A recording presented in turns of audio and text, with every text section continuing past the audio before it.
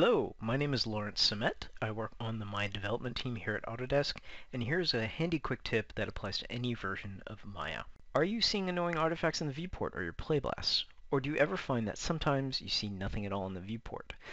So this can happen from time to time, especially when working on very large scenes or importing data from other applications.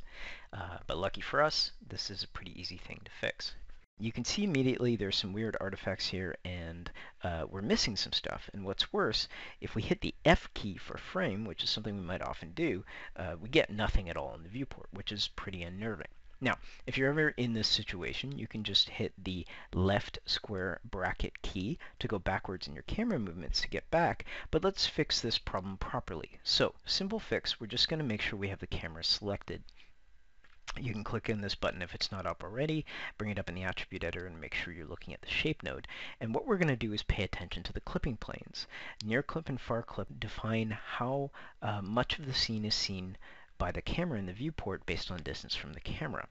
So simple fix for the cutoff material is we're just going to add uh, a couple of zeros to our far clip plane. And now you can see our whole scene is back. And if we hit frame, uh, we don't lose the scene. But we have this very annoying flickering artifacts here uh, that make their way in our playblast and don't look very good, so that's no good. Now this is also a simple fix. We're just going to increase our near clipping plane to a value of let's say 2 or 3, and now the scene is looking great. So just a quick recap, uh, make sure your far clipping plane is extended as far out as it needs to be, and just uh, increase your near clipping plane to a value of, let's say, 2 or 3, and you will address the flickering problems you have in the viewport. Thanks for listening, and uh, if you have any questions, don't hesitate to ask them in the comments section.